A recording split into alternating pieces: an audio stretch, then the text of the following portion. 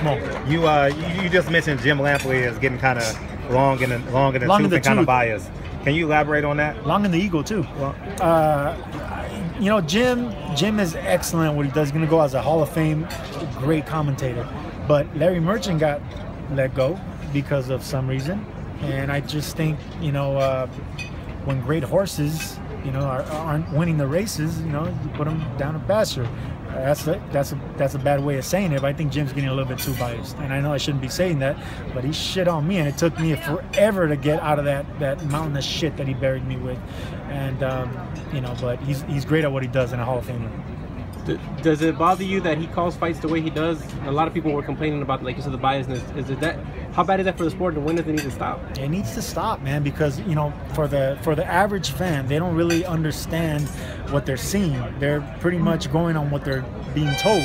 That's why guys like Paulie Malignaggi, who I just who I think is amazing. He's, he's the best in the business. This guy brings to even if it's a, a fight where there's not much action, Paulie will bring it to life. He'll bring it to colors, what to watch. That's what a fighter sees. That's what we see when we watch a fight. That's what I saw with Ward. But it takes a guy like Paulie Malignaggi to bring it to life.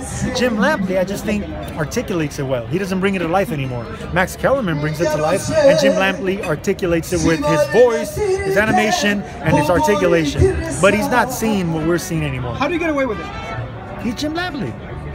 He- he- he's, he's, he's the best at what he does, but I just think he's becoming a little bit too opinionated and biased to guys that are professionals that have been doing this their entire lives, and, and you're, you're demeaning what we worked all our lives for. And, and as a fighter, hurts.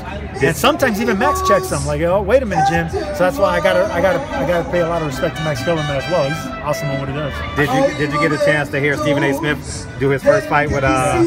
Tell me what you thought of Stephen A. Smith. Uh, man, I, I was with a lot of the boxing fans and and, and the typical uh, uh, fighters and, and a lot of the fighters. He's trying. He's trying to bring that that that sports center excitement to a sport that doesn't is not used to it yet, at least.